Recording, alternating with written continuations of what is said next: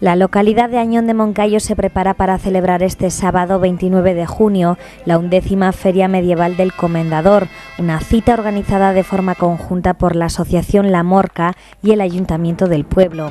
La feria, organizada en conmemoración del Comendador de la Orden de San Juan de Jerusalén, pretende rememorar los tiempos de la Edad Media en los que, por encomienda del rey, las órdenes religiosas custodiaban el castillo de Añón, primera línea de defensa de Aragón frente a Castilla.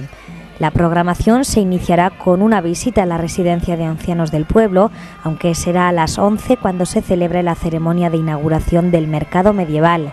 Por la mañana habrá taller de esgrima infantil, taller de heráldica, pasacalles teatral, actuación coral alfarería y taller de cascos y tocados para damas y caballeros. Tras un descanso para comer, a las 5 de la tarde se reabrirá la feria y habrá un pasacalles medieval. También habrá cuentacuentos, concierto de la Banda Provincial de Zaragoza, taller de juguetería medieval, merienda gratuita para los asistentes y un espectáculo nocturno, El Juicio de Dios. A las nueve y media de la noche se cerrarán los puestos del mercado y a las 10 se inaugurará en el hotel la nueva zona chill out.